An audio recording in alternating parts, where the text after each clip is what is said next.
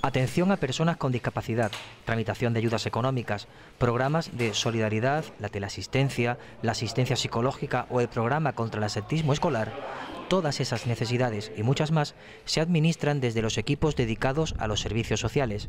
En Vejer, estos profesionales cuentan con una nueva sede para desempeñar su labor el Centro Municipal Reina Sofía, cuyas dependencias han sido inauguradas por el presidente de Diputación, José Loaiza, y el alcalde de Vejer, José Ortiz.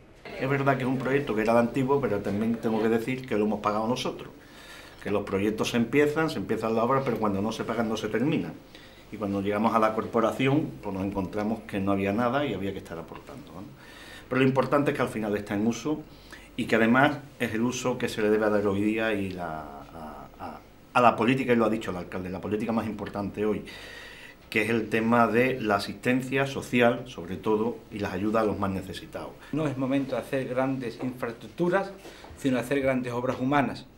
Es momento de gobernar con la cabeza y sobre todo con el corazón y por eso la puesta en marcha de este edificio que será el centro de atención a toda aquella familia que se está atendiendo.